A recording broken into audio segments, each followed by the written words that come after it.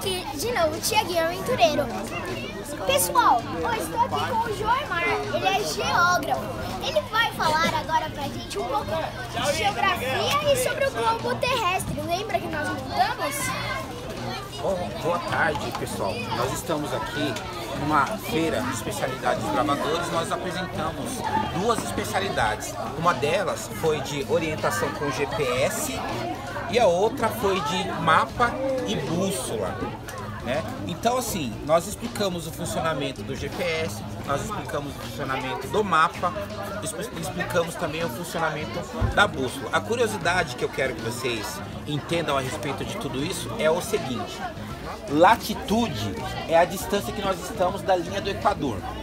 Longitude, a distância que nós estamos do meridiano principal, de Greenwich. Altitude, ó, tá mostrando nossa altitude em relação ao nível do mar.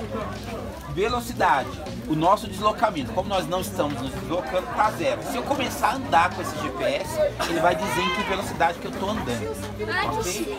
E aqui, o TC, vocês vão aprender depois na especialidade que o mundo ele é dividido em quadros.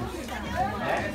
E o TC é a divisão que vocês enxergam aqui, por exemplo. Ó, tá vendo? Ó? Esses aqui são os quadrados do TC, tá? É a, a, a, gente chama isso aqui, ó, grade, a gente chama de grid, de graduação, tá? E aí o TC é o que tem no mundo inteiro. Aqui a gente tem em qual quadradinho a gente tá, que é o, o TC. Para ter a especialidade de, de GPS, tá? Aqui, ó, vocês podem baixar. É a, assim, é um GPS de trilha não depende do sinal ah, de celular. Se você for com meio do mato onde não tem celular, sinal de celular, ele vai continuar funcionando e você pode usar no seu dá para baixar celular, tá bom? Só que para ter essa especialidade de GPS, o primeiro requisito é ter a especialidade de mapa e bússola. Por isso que tem as outras coisas aqui também, tá? Mapa e bússola também. Então assim, ó, mapa. O que, que é o um mapa? Vocês gostam de tirar selfie, né? tirar fotografia de vocês. O que, que é um mapa? É uma fotografia do planeta Terra, ok? Então, assim, ó, com os mapas eu sei onde é que eu tô no planeta Terra, o que, que tem no planeta Terra, ok? O que, que é útil para mim, o que, que me interessa no planeta Terra. Então, assim, é, vocês entendam isso, o mapa como uma foto do chão, para que você saiba, saiba o que tem no chão, ok? E aí nós temos diversos tipos de mapa conforme o meu interesse, ok? Fotografia, por exemplo, eu posso tirar fotografia da paisagem, posso tirar fotografia de um animal, posso tirar fotografia minha, de uma coisa que eu quero mostrar. O mapa também é assim. Então eu tenho um mapa ali, ó, que é um mapa político. Para que, que servem os mapas políticos? Para mostrar o território, por exemplo, território brasileiro, por exemplo, território do estado de São Paulo. Esse mapa especificamente está mostrando o território do nosso bairro, a freguesia do Ó, tá ok? Outro tipo de mapa é o mapa topográfico. Eu tenho um exemplo dele aqui, ó, tá? Mapa topográfico. Para que, que serve o mapa topográfico? Ele serve para mostrar ó, a altura do chão. Olhem para lá, o estacionamento. Ó. Tá vendo que tem carro mais baixo e tem carro mais alto? É essas diferenças que o mapa topográfico mostra. A diferença do chão, tá? De altitude do chão. Essas linhas que vocês estão vendo aqui, ó, a gente chama de curva de nível. É o que caracteriza o mapa topográfico. E essas linhas, elas demonstram a altura do chão. Para vocês entenderem a altura do chão, ó, aqui ó, é uma maquete do estado de São Paulo.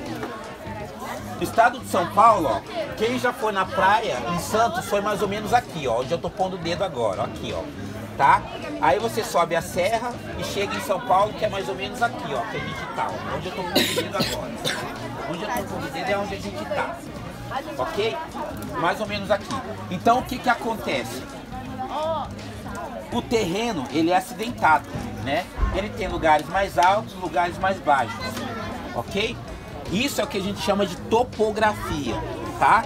Então assim, para medir essas altitudes do terreno, essas diferenças, a gente usa as curvas de nível que estão representadas aqui. Isso aqui, ó, é representação das de, de nível. Você sobe, marca uma curva de nível para saber em que altura você está. Sobe mais um pouco, marca outra curva de nível para saber em que altura você está. Ok? Pergunta.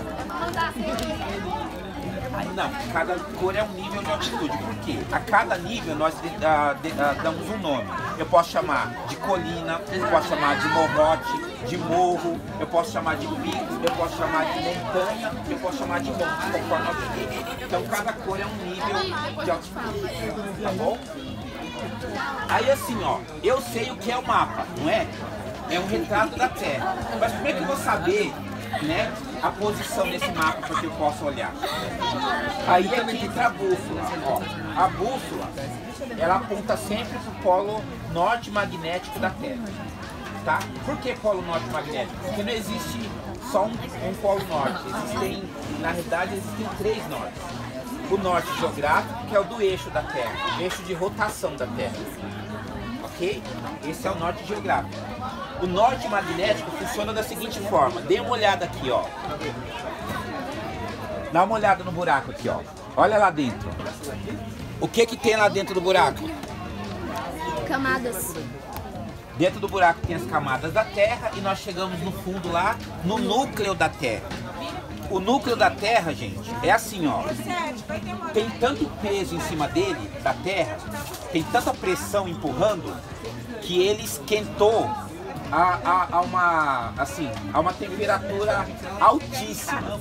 Quase, quase tão quente quanto o sol. Quase tão quente quanto o sol. Aí vocês imaginem, a mãe de vocês cozinhando feijão. O feijão tá quente lá dentro, não fica escapando aquela pressão. Então uma coisa quente aqui dentro não tem pressão também. Essa pressão na panela vocês verem sair pelo pino, vem? Aqui ó, vocês têm um vulcão, ó. O vulcão é como se fosse o pino dessa panela de pressão que é o nosso planeta. Vocês entenderam isso? De vez em quando escapa aqui a pressão que é a lava vulcânica. Que vocês ouviram falar que caiu lá na Guatemala essa semana lá, infelizmente causou um monte de problema. O vulcão ele solta o um mínimo, quase nada dessa pressão. Imagine quanta pressão tem lá dentro. Aí essa pressão, ela faz com que o núcleo da Terra, que está lá dentro, comece a girar em alta velocidade. E esse giro provoca um campo magnético. Esse campo magnético ele escapa da Terra pelo Polo Sul, aí ele passa pela atmosfera e retorna para a Terra pelo Polo Norte. Ok? Então esse campo magnético ele atrai o metal. Como o fluxo é do sul para o norte, o metal é atraído para o norte. Ok? Por isso que a bússola aponta para o norte. Vocês entenderam isso? Para isso basta o metal estar tá magnetizado. O que é magnetizado? Todos os átomos estarem alinhados. Para eu alinhar o átomo do metal, eu posso friccionar ou passar um ímã perto dele 20 vezes na mesma direção.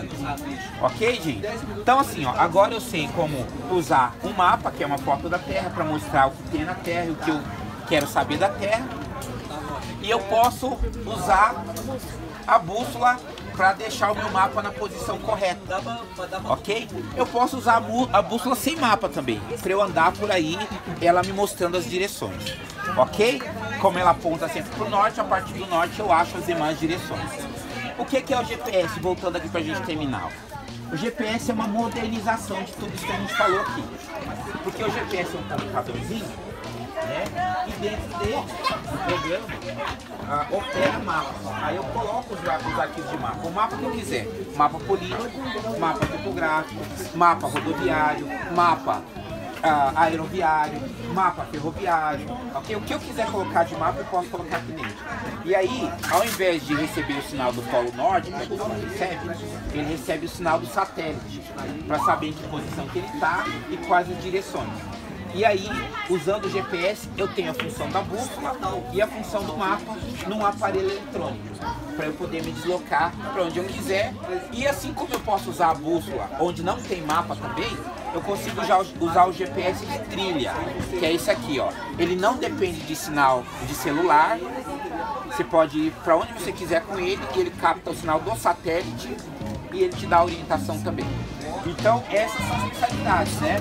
De GPS, saber como funciona, que eu acabei de explicar, e como utilizar.